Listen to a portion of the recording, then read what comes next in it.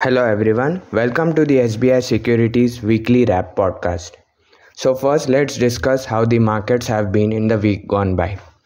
Indian benchmark indices ended higher for the week, snapping their two consecutive weeks of decline.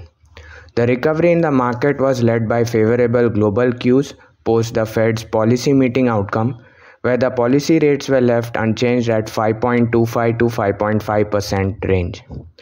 The comment by Fed Chair Jerome Powell post meeting sounded a bit dovish, and market believed that the interest rate in US has now peaked, albeit it may remain at an elevated level for near term. The bond yields in the US across tenure cooled off, and equities recovered from recent lows. In India, the Nifty and Sensex closed with gains of 1% and 0.9% respectively for the week while mid and small cap indices mildly outperformed with gains of 2% and 1.9% respectively. The ongoing result season so far has been without much negative surprises. For a sample of 949 companies which have reported results so far, the net profit growth of the sample is 33% YOY and 19.4% QOQ to around 2.1 trillion rupees. Banks, auto, and FMCG companies have reported strong financial performance so far. Next week, global cues and ongoing result season will continue to play an important catalyst for stock specific actions. There are 1,670 companies uh, to, due to declare their second quarter FY24 results next week, and hence broader market will witness an increased level of traction. Additionally, global cues and geopolitical tensions, particularly in West Asia, will continue to be important events to track. Talking about the weekly sectoral gainers and losers on BSE, all the sectoral indices ended in the green except BSE Auto. Realty sector was the best performer, up 10.4% for the week. October data for the Mumbai realty market, which is a major market for the real estate industry in India, the data was very strong and the sector outperformed as a result. The oil and gas, consumer durables, and PSU indices too performed well, gaining between 3 to 3.5% in the week. The auto index ended 0.7% lower despite strong auto sales for October. Talking about the weekly Nifty 50 gainers and losers. So, the top gainers this week on Nifty were BPCL, Apollo Hospital, Titan, Hindalco, and Ultratech Cement. While top losers were M&M, Maruti Suzuki, Dr. Reddy's, Tata Steel, and Bajaj Finserv. Taking a check on some key monitorables. FIIs continued to uh, uh, remain net sellers during the week and they sold around 6300 crores while DIIs continued to provide the buying support buying net buy figure of 5074 crores. Brent crude eased to 85 to 86 dollar per barrel from levels of uh, 90 dollar last week and US bond yields have also cooled to 4.8% after touching 5% in the previous week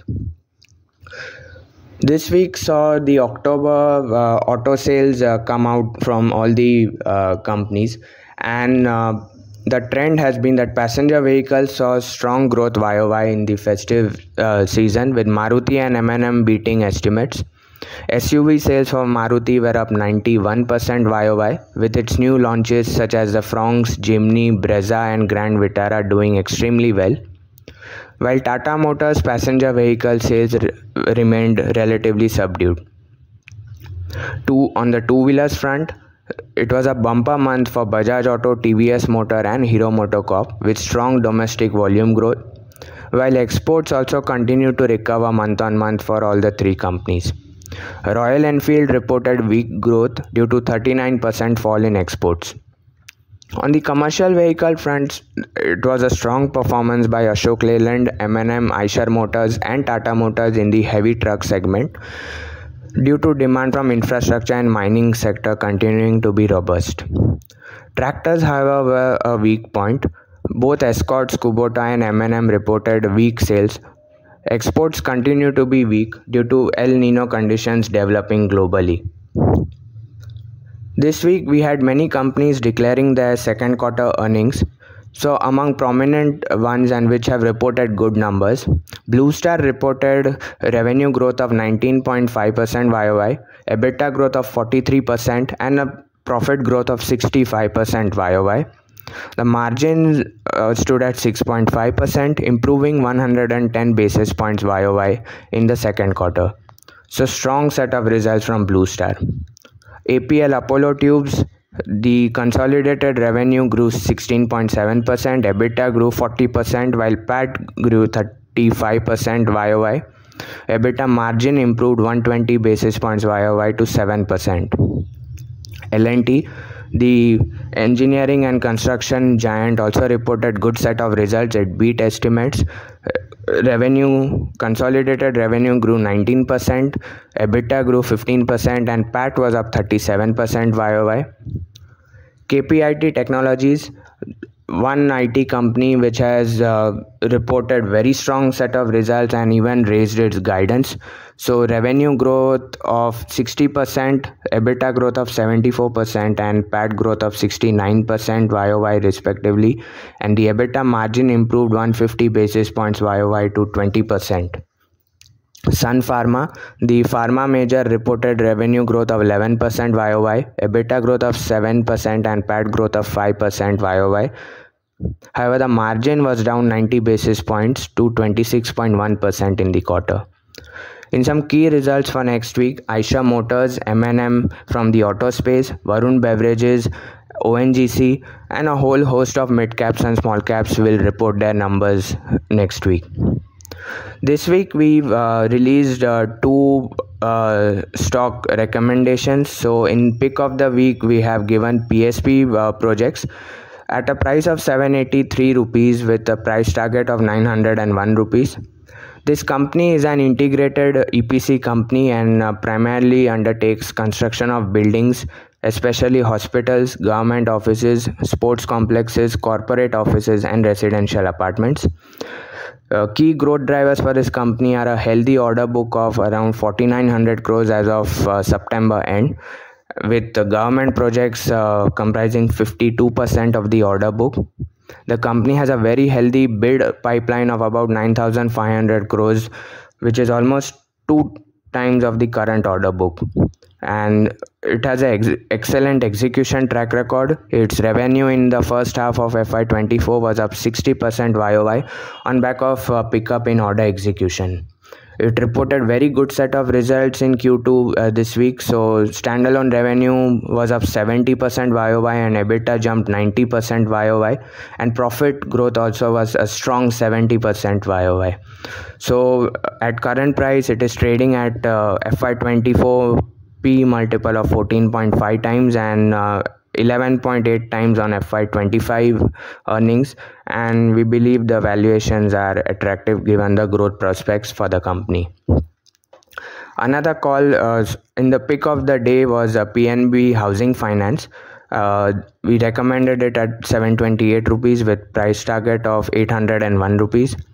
This uh, company is a leading housing finance company with uh, over three decades of experience in home financing and has a robust uh, branch network across the country. The company has diversified product portfolio with significant retail mix in both salaried and non-salaried uh, customers and the management has guided for loan book growth of 17 to 18% per annum for the next 3 to 4 years. Uh, it also reported good set of results and the NII was up 2% YOY and net profit was up 46% YOY. Asset quality continues to remain healthy. Uh, the gross NPS dropped 200 basis points uh, sequentially to 1.8%.